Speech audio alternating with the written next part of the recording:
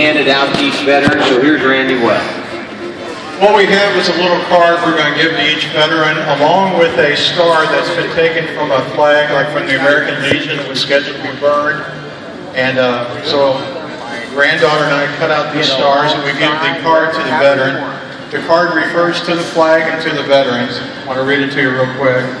I'm tattered, torn, and worn, ready to be retired. Now I am a treasure given to you by a grateful nation who honors you for your service and sacrifice.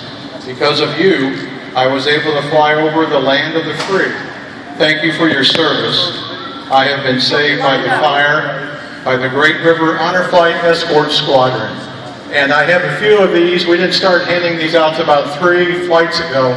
So if you know a veteran who would like to have a card, come see me after, and uh, I'll be glad to give you one. Thank you very much. Thanks, bro. Thank you.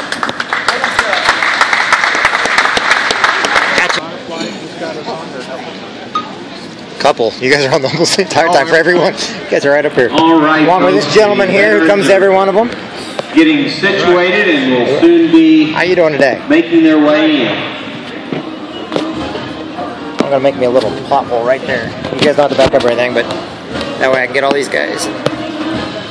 Just so uh, for everyone's information, this is our 24th honor flight.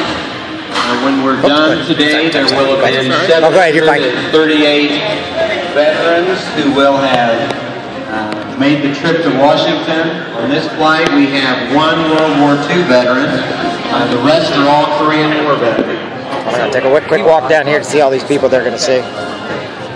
Thank you. Okay.